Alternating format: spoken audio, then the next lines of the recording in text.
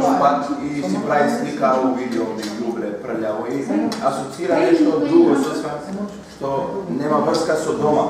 Значи, кога ќе ќе ни дојдеш дома е скроз другачие него надо. А што е тоа само ете инфраструктурата немаме саглам општо.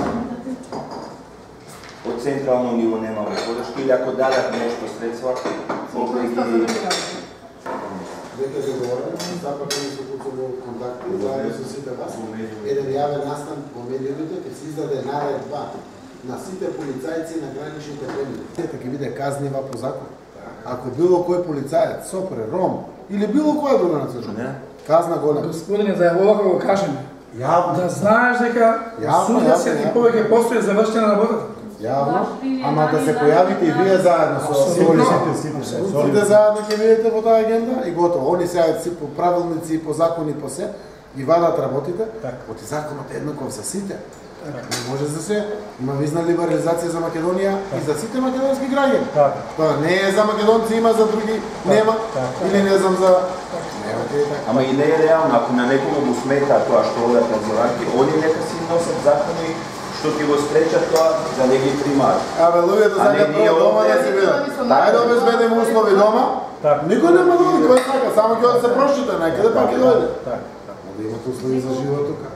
Што прават? Луѓето заминуваат за да може да си гледаат семејството дома. Така. Храна на дома. се. Социјалата исто катастрофа е дека знаеш. Пред два дена имавме случај, млад пар, венчани, тој уште нема добиена виза за престој во Германија, ама вика, дојде таа невестата, беше тука месец дена и вика, ајде ќе те земам, ќе ќе доеш кај мене сега три месеци, за да бидат подолго заедно.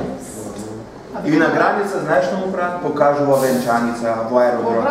Све покажува дека има документи и чека виза. Не може да по 280 евра карта кај мене купи. Јас имам агенција за за авиобилети. Брзински му ја извадија, беше скупа и им реков, две карти ќе ве коштат 560 евра.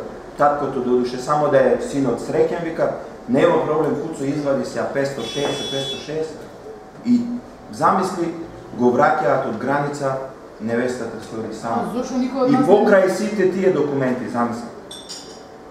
Во суштина треба само пасош да носиш, ниту ни венчани, не треба Така, да не носиш. бара. Така е, така.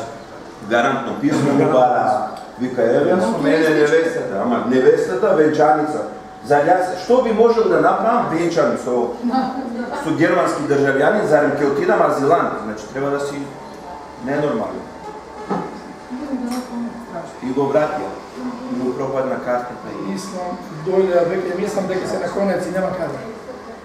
Na kraju si sami znao. Konec, to se zna kako drži.